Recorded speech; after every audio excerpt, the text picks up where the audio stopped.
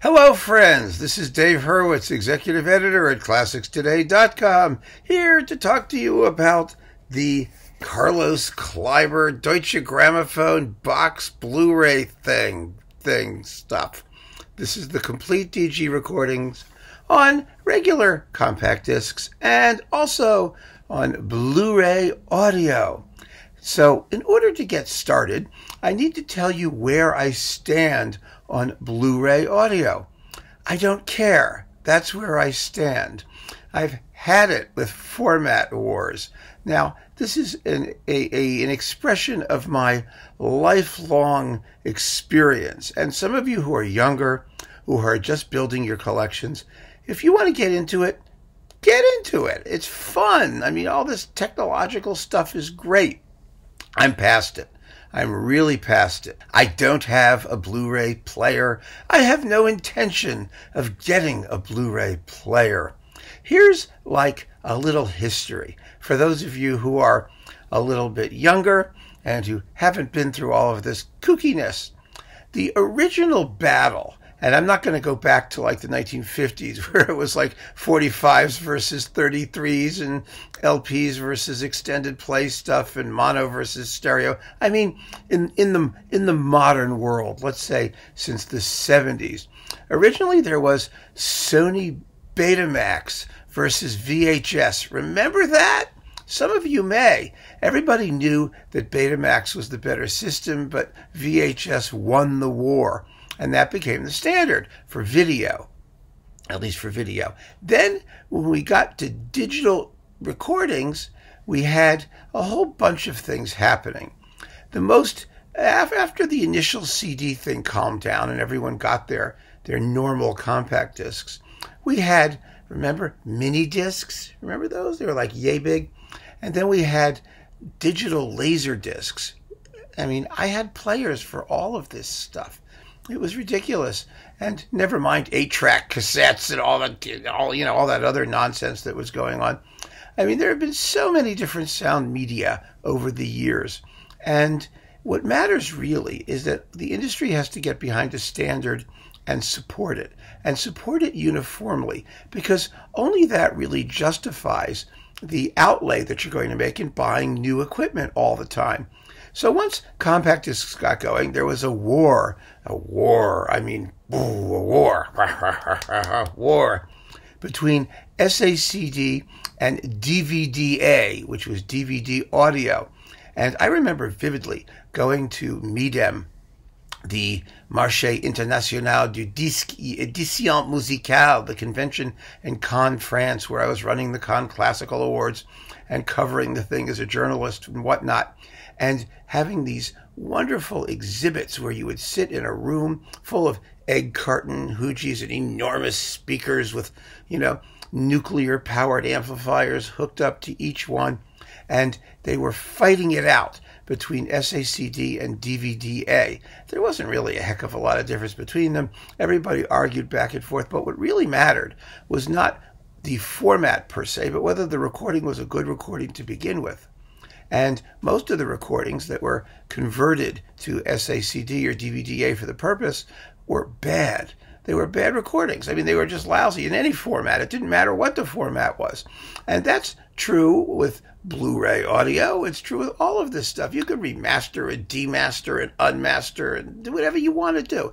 But if the basic recording was not a good one to start with, then it's going to sound like possibly a slightly improved version of not a good one. And I'm not interested in that. I'm not an audiophile. I have a big, glamorous, high powered system with fabulous custom built speakers. I have a bookshelf audio system for my bedroom. I have my AirPods.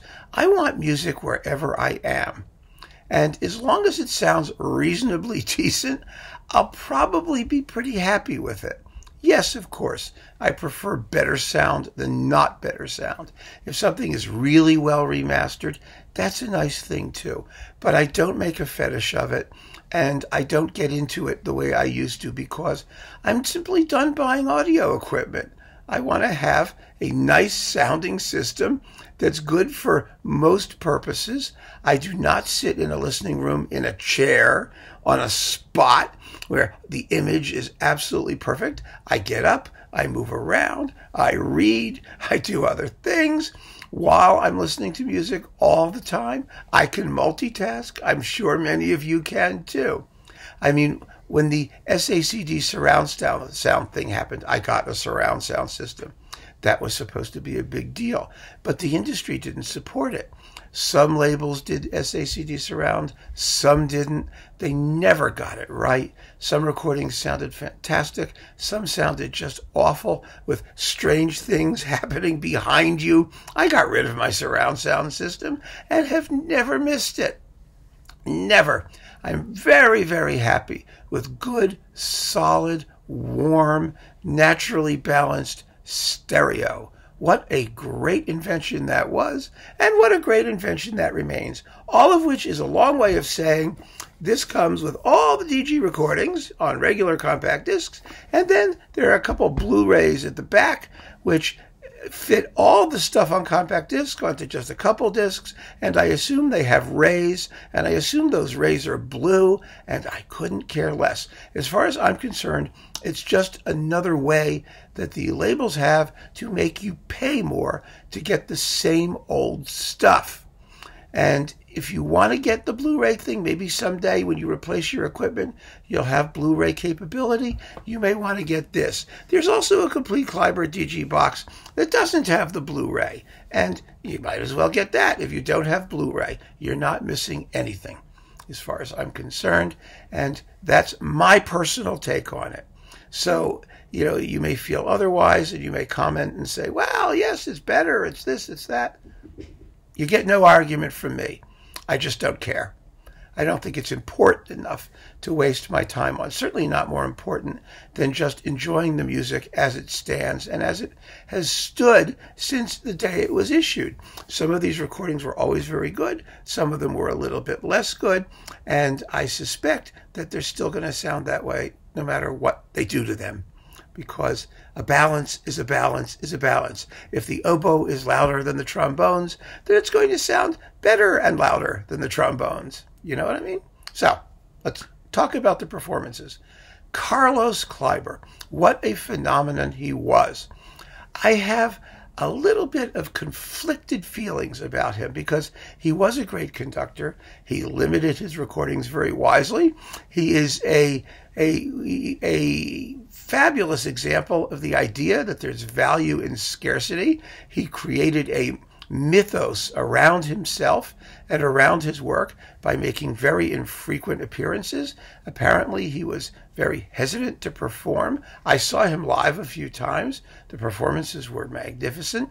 I've heard everything he's done on disc, a lot of the pirate stuff, and the pirate stuff, you may be interested to know, is not necessarily better or worse than anybody else's pirate stuff. There are days when he was on and days when he was off and he was just like the rest of us mortal human beings. He could be great and not so great. I have issues about his choice of repertoire. I have issues about what he recorded because the fact of the matter is, the fact of the matter is, he basically was a clone of his dad, Erich Kleiber, and I think Erich Kleiber was a great, great conductor. I mean, he gave the premiere of Wozzeck, you know, that's exciting. But beyond that, you know, when I do A-B comparisons between Erich Kleiber's work and Carlos Kleiber's work, I generally prefer his dad. Um, and I think that, I think that, you know, he spent uh, so much of his career in the shadow of his incredibly famous father, and that's a difficult thing. And that may have led to his being so, so comparatively infrequent in his appearances. He used to joke about it. He would say that you know he needed to buy a new refrigerator. He would go give a concert. He'd get he'd get money, and that's why he did it when he he came out from from his hermitage, and he would give a concert and make a pile of money and then stop. He did, of course, a lot more in concert live than he ever recorded. I mean, his career was was a bit more a bit more um, out there and and fulsome than his limited discographic legacy would suggest. But let's go through these disc by disc because there's very few of them, and we will see what the best stuff is. First, let's just say the box comes in one of these. It's a slipcase style, since we're talking about packaging, and the slipcases have have these little gatefold hoogies. And, um, and they're actually pretty good. It's just a little cardboard sleeve. And in the cardboard sleeve is a disc that you could actually take out and put back without causing hysteria. I actually think that's pretty good. So first we get his famous, illustriously famous Beethoven 5 and 7 with the Vienna Philharmonic. Now, the fifth is an iconic version of the fifth. It's a great Beethoven fifth without question. The seventh I find less persuasive.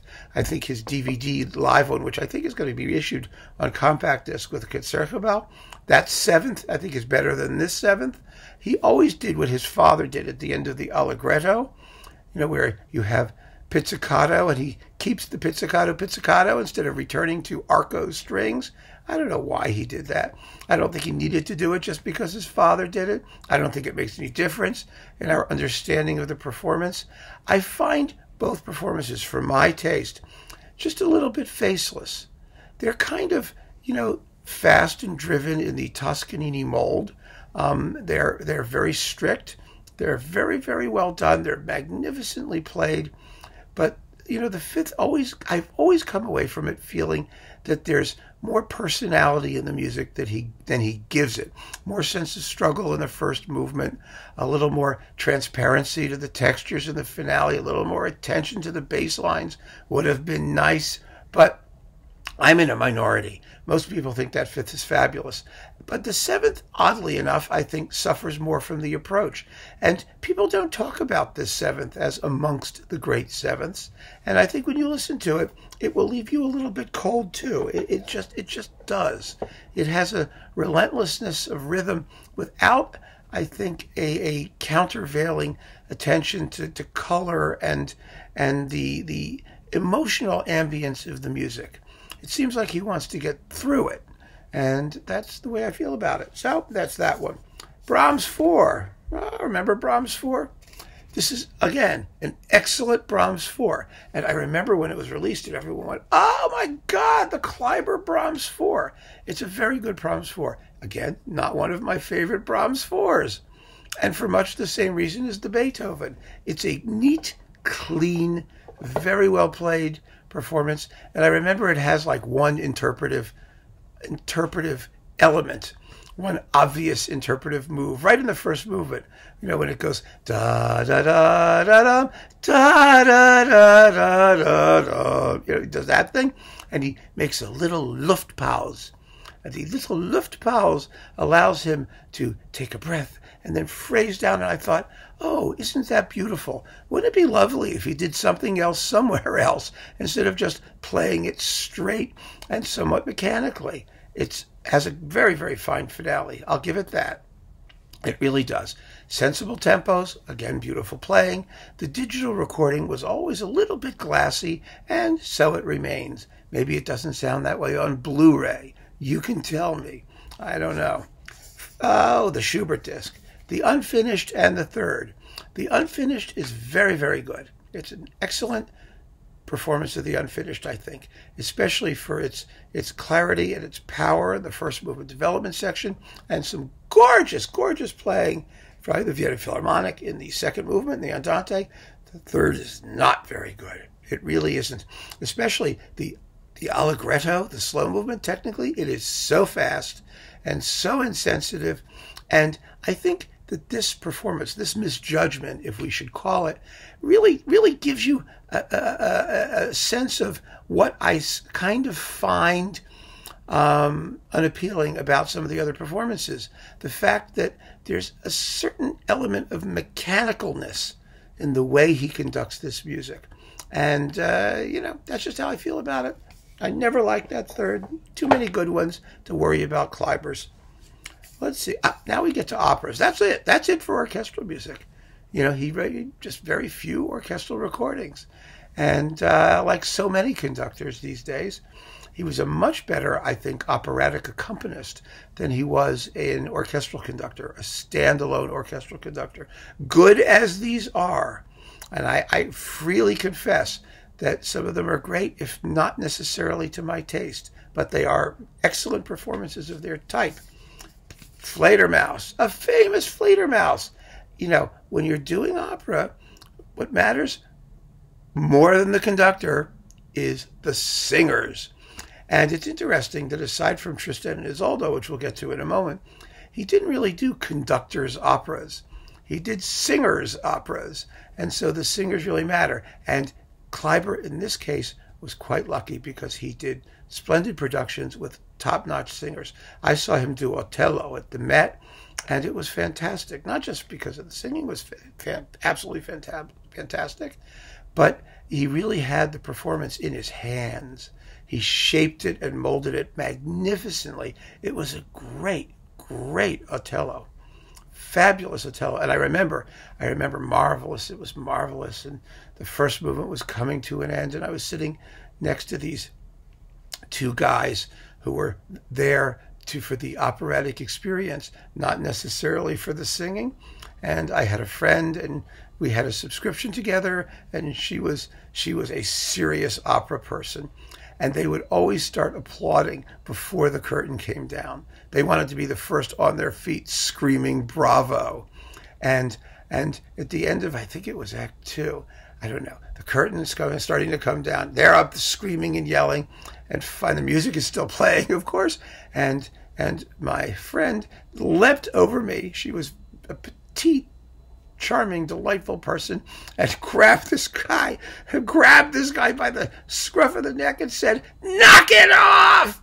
And he just looked at her and said, "It's about passion, honey." It was a lot of fun.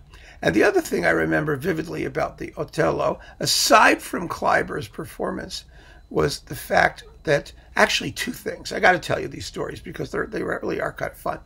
Was that our series that year was the the German special. It had like The Ring and Die Frau ohne Schatten. It was all Strauss and all Wagner and Otello. And we're watching Otello. We get to the end of the first act, and we just looked at each other and said, "It's over already." I mean, we just couldn't believe how fast the whole thing went in Verdi compared to Wagner and Strauss. It was if it, we just sat down, and already we were in Act Two. You know, it moved at the speed of light. And then on the other side of us was an elderly lady, a, a charming elderly lady who was sitting at the program, and on the the uh, program that year also was was the production with Jessye Norman of of Bluebeard's Castle and Schoenberg's Erwartung. There was that double bill that featured Jessye Norman, and the Bluebeard's Castle was really demented because it starred, I think, Sam Ramey as Bluebeard, and he was actually blue. And as the production went on, he like took all of his clothes off, and he was like one of those blue men just the kind of guy you think Judith would want to marry, right? And when they get to the fifth door, you know, the big door, you see his realm. It's like an electric. The, the doors were like she had an electric garage door opener. she would push a button and the thing would go up. And and at this point, the whole set opens up, and it turns out that they're in orbit, and that Bluebeard is an alien who'd kidnapped Judith to go onto his space station and and the the producer who was some Swedish guy I think got booed at the end, which I thought was great because he really deserved it. It was a lot of fun. But anyway, this this old lady is looking at the program and she turns to me and she says, "Excuse me, excuse me, uh, is this the same Bartok who wrote The Miraculous Mandarin?" And I said, "Yes, it is. In fact." You know, Bluebeard's Castle was part of a trilogy that included the miraculous Mandarin. And she said, Oh, that's wonderful. That's my favorite piece of music. I play the miraculous Mandarin every morning when I have coffee. And I just looked at her and said, Hmm, interesting. Very interesting. And she said, You know, my husband was was Peter Bartok's law partner. And I said, Oh, okay. That was kind of cool. Anyway, that was my Carlos Kleiber experience at the Met, more or less. He did a great Otello. It's a pity he didn't get a chance to record it. But we're on Fledermaus after that ridiculous digression. And it's really, really a good Fledermaus. It's got Hermann Prey and Julia Varady and, and, and, and Rene Kollo and Bernd Weikl and Lucia Popp. And I mean, just, it's just a who's who of Mousians. So it's great. What's not to love? That's absolutely fantastic. And, you know, Kleiber, in his pit version of himself, was a very, very sympathetic accompanist, one who shaped and molded the orchestral parts magnificently while always allowing the singers the opportunity to sing. And that is the mark of a really great conductor. He didn't he didn't take over the production. He conducted with humility but with supreme mastery of the score. And you hear that time and time again. You hear it in this, the great really the best modern Traviata recording with Ileana Cotrubas's absolute best performance. And I, I chatted with her about it. She agreed. She was very, very happy with it, and rightly so. And who else is in this? Oh, it's like all kinds of other people Placido Domingo and Sherrill Milnes. And, you know, again, really wonderful casting and an absolutely fantastic version of the accompaniment. So the Traviata is justly famous. A really, really fine performance. And then there's Tristan und Isolde. Ah, Tristan, it's Wagner. Now, most people, I don't think, believe this is one of the great Tristans. I mean, you've got the, the Karl Böhm Bayreuth with Birgit Nilsson, and, and you, you know, you're not going to beat that. You just aren't. It's that simple. It's that great, you know. And, and Margaret Price is is a wonderful, wonderful singer, and I really, I, I, just think she does a beautiful, very feminine, some very kind of girlish Isolde. She is not the typical Wagnerian soprano. She was lucky to get Kleiber conducting because, again, he's very kind to the voices. And you have, let's see, Rene Kollo as Tristan. He's not, he wasn't really a Helden tenor. He was kind of a Helden tenor, but he does a very good job. And Kurt Moll as King Mark. And let's see who else is in here. Oh, yes. Fish Disc, Dietrich Fischer Dieskau, kind of over the hill, a little dry of tone. He's Kurvenal. And who's who's singing Melot? I don't know. Well, Werner something. Werner Goetz is Melot. And Brigitte Fassbender is Brangana. Brangane. It's it's a an extremely good Tristan. It's kind of lean and and fleet but if you've got like Furtwänglers with, with Kirsten Flagstad, which is one of the great ones, or the Karl Böhm Bayreuth, one of those classic ones, I don't think that this one is going to blow your mind the way that, for example, the Traviata does, which is really fantastic. I love the Traviata. And best of all, best of all, this is the best of all. Freischütz. Der Freischütz is one of those operas that has a wonderful reputation I mean, it's, you know, it's the first great German romantic opera, but it doesn't have a lot of great recordings. And for some reason, for some reason, it, it, it doesn't it doesn't excite people the way some of these other operas do. I mean, maybe because the plot's stupid and no one really knows what happens. All I know is there's this guy, you know, he, there's Agatha and there's a he makes magic bullets. This shooter guy, and he wants to win a shooting contest. And there's a evil devil thing named Kaspar, and Kaspar wants the the the, the gun to shoot Agatha for some reason. There's no reason that he wants the gun to shoot her. He just does. And there's this holy hermit so that the gun doesn't shoot Agatha. I mean, it's just ridiculous. But the music is gorgeous, and it had never, never been conducted with this much flair, attention to detail, and and dramatic, dramatic verisimilitude. I mean, he really makes the piece work. And again, you have an amazing cast. It's Bernd Weikl and Siegfried Vogel and oh, Gundula Janowitz is Agatha and Edith Mathis and Theo Adam and Peter Schreier and Franz Krass. And oh my God, you were never going to get a cast doing a better Freischütz. And I really think this was a performance that, that elevated the work to an entirely different standard because, you know, its popularity in German speaking lands was one of those those things that kind of made it be taken for granted and be recorded by, you know, a lot of sort of what you might call provincial German performers in provincial German opera houses. And so when Kleiber came along he really revealed the work as the international masterpiece in a sense that it should it should have been. Then of course Kubelik's recording, which is also very good, came along on Decca and it had more sound effects. Ah wow. It has a tam tam in the Wolf's Glen scene. What could be bad? But but Kleiber plays it straight And it is an absolutely fabulous, fabulous performance, and probably the most important recording he ever made. Because that's the performance where he showed what he could do in a work that hadn't been done to death or that hadn't been recognized as the classic that it truly deserves to be. And when most people went out to get Freischütz, they got the Kleiber. That was their introduction to Freischütz and Kleiber, and so it remains. Finally, you get these, these, these, these this Blu-ray disc, and this Blu-ray disc has all of the stuff on it. It's amazing what they can stuff on a Blu-ray disc. Eh, I'm never going to listen to it, so that's the way it goes. And then there's a fabulously hagiographic booklet, which is all about Kleiber, and you know you have pictures of Kleiber, so you can see all the Kleiberness and Kleiberosity to your life's, your heart's desire. And with that, we have the Kleiber edition. So where where are we at the end of the day?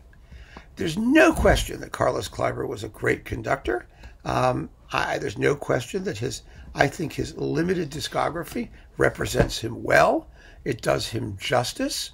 It's certainly worth having. I mean, there's no question that you probably will want this set if you don't have it already.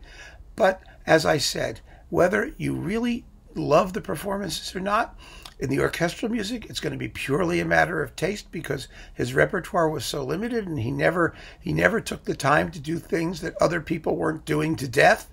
So there's tremendous competition. He holds his own, but I don't know. When I reach for Beethoven's Seventh or the Schubert Third, I'm not picking Kleiber or the Brahms Fourth. Yeah, probably not either. There's so many great recordings of this music, and I don't think he brings enough that's special to justify thinking that these are the best.